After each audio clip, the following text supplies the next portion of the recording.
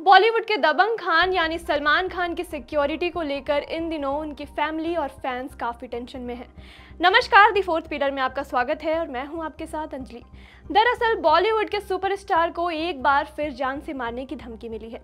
वैसे ये पहली बार नहीं है जब सलमान खान को जान से मारने की धमकी मिली है। इससे पहले भी कई बार उन्हें ऐसी डेथ थ्रेट मिल चुकी है। Bollywood actor Salman Khan Lawrence gang की हिट लिस्ट में है। लॉरेंस गैंग उन्हें मारने की कोशिश में लगा हुआ है। यह बात कथित तौर पर कनाडा में छिपकर बैठे गैंगस्टर लॉरेंस के करीबी गोल्डी बरार ने एक मीडिया चैनल को इंटरव्यू के दौरान कही है। गोल्डी ने इस दौरान जेल में बंद गैंगस्टर लॉरेंस के इंटरव्यू का ज़िक्र करते हुए कहा कि सलमान खान को मारना उनके जीवन का लक्ष्य है।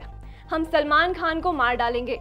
हम उसे ज़रूर मारेंगे। गोल्डी ने कहा कि उनकी यह बात सिर्फ़ सलमान खान तक ही सीमित नहीं है। जब तक वे जीवित हैं, अपने सभी दुश्मनों के खिलाफ अपने प्रयास जारी रखेंगे। सलमान खान निशाने पर हैं, इसमें कोई शक नहीं है। वे कोशिश करते रहेंगे और जब वे सफल होंगे तो सभी को इसका पता चल जाएगा। आपको बता दें कि बीते साल पंजाबी सिंगर सिद्धू मूसेवाला की हत्या के पीछे भी लॉरेंस का ही हाथ था। वहीं इस पूरी घटना को विदेश में बैठकर गोल्डी बरार ने मैनेज किया था। गोल्डी ने सभी से टाई अप किया था और लॉरेंस के इशारों पर हत्या की। पंजाबी सिंगर सिद्धू मूसेवाला, मर्डर के मास्टरमाइंड गैंगस्टर सतिंदरजीत सिंह उर्फ़ गोल्डी बराड़ अब भारत के बाद कनाडा में भी मोस्ट वांटेड अपराधियों की सूची में शामिल हो गया है। कनाडा के भगोड़े टॉप 25 मोस्ट वांटेड अपराधियों में उसे शामिल किया गया है। आखिर ऐसी क्या वजह है जिसके कारण उन्हें सलमान खान से इतनी नफरत है? लॉरेंस ने अपने इंटरव्यू में कहा था कि सलमान ने हमारे समाज को काफ़ी नीचा दिखाया है। हमारे बिश्नोई समाज में पेड़ पौधों और जीवों को लेकर काफ़ी मान्यता है। उसने हमारे समाज का अपमान किया।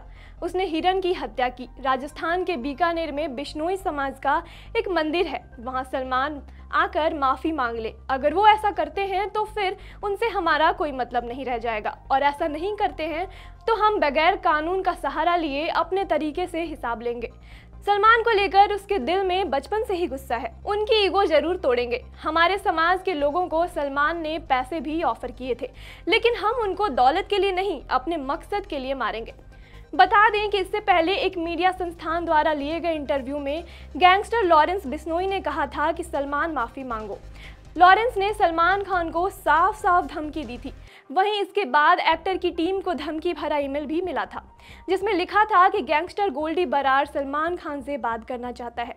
इसके बाद सलमान खान की सिक्योरिटी बढ़ा दी गई थी। वहीं सलमान की फ़िल्मों की बात करें तो आखिरी बार सलमान खान किसी का भाई किसी के जान में दिखे थे यह फ़िल्म दर्शकों को कुछ खास पसंद नहीं आई थी। बॉक्स ऑफ़िस पर बीते तेरह साल में यह सलमान की सबसे कमज़ोर फ़िल्म साबित हुई है। उनकी आने वाली अगली फ़िल्म टाइगर थ्री होगी। इसमें सलमान खान, कटरीना कैफ और इमरान हाशमी के साथ दिखेंगे। यह फ़िल्म 2023 में दिवाली के समय रिलीज़ होने की संभावना है। धन्यवाद, अभी के लिए बस इतना ही। बने रहे दी फोर्थ पिलर के साथ। अगर आप चाहते हैं कि हमारे वीडियोस का नोटिफिकेशन आपको बिना देरी के मिलता रहे तो आप इस चैनल को फॉलो और सब्सक्राइब ज़रूर कर लें। बाकी आप हमारे काम को लेकर कोई सुझाव हमें देना चाहते हो तो कमेंट बॉक्स में आप सादर आमंत्रित हैं। इसके अलावा हमारे वीडियोस आपको अलग अलग ठिकानों जैसे फेसबुक इंस्टाग्राम ट्विटर पर भी देखने को मिलेंगे। जिसके लिंक डिस्क्रिप्शन में डाल दिए गए हैं। शुक्रिया।